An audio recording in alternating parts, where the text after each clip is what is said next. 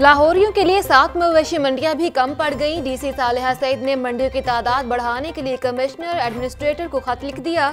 Pine avenue اور شہنو بابا چوک میں منڈی لگانے کی تجویز۔ سندر اور رائے گڑھ میں بھی دو اضافی منڈیاں لگانے کی بھی سفارش۔ سگیاں پر لگنے والی دو منڈیوں کی ٹریفک کے معاملات ریگولیٹ کرنے کی تجویز۔ اضافی منڈیاں لگانے سے ٹریفک کے مسائل پر قابو پایا جائے گا۔ مراسلے کا مطلب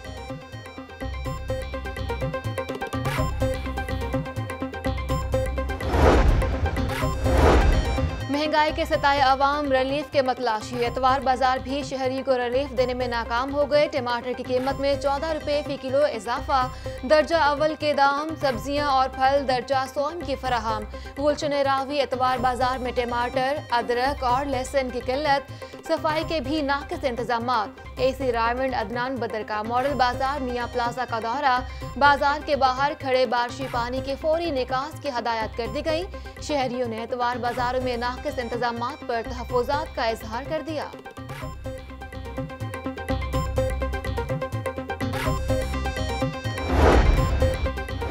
ضلع انتظامیہ شہر میں شجرکاری مہم کے لیے کوشاں۔ انتظامیہ شہر میں پائن کے پودے لگائے گی۔ پاکستان تمباکو کمپنی نے پانچ ہزار پودے اے سی ماڈل ٹاؤن زیشان نصر اللہ کے سپورٹ کر دیے۔ ہر تحصیل میں ایک ہزار پائن کے پودے لگائے جائیں گے۔ ڈی سی صالحہ سعید نے ہدایت کی ہے کہ خالی جگہوں میں پودے لگائے جائیں۔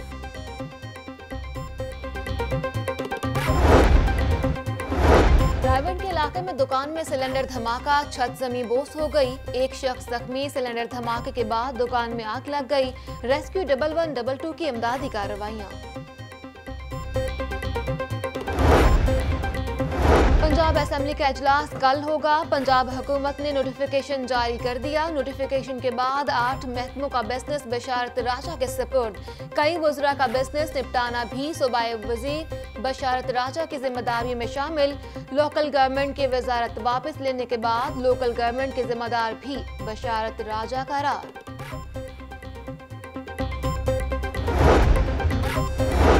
مانسون کی بارشوں کے پیش نظر سروسز ہسپتال میں ہنگامی انتظامات صفائی ستھرائی کے تمام عملے کی چھٹیاں منسوخ۔ ایم ایس سروسز ہسپتال کا ٹیم کے ساتھ مختلف وارڈز اور چھتوں کا دورہ۔ کہتے ہیں بارشی پانی کے نکاسی آپ کو ممکن بنایا جا رہا ہے۔ بارش سے شہر میں کھیل کے میدان بھی متاثر۔ نیشنل پارک سپورٹس کمپلیکس میں بارش کا پانی جمع۔ کھیلوں کی سرگرمیاں متاثر۔ Fazal Mahmood club cricket tournament کا فائنل میچ بھی متاثر ہوا۔ اور گورنر ہاؤس کے دروازے آج بھی عوام کے لیے کھولے گئے۔ پینے کا صاف پانی ہے، نہ بیٹھنے کا کوئی انتظام۔ سہولیات نہ ہونے پر شہریوں کی سیر و تفریح میں عدم دلچسپی۔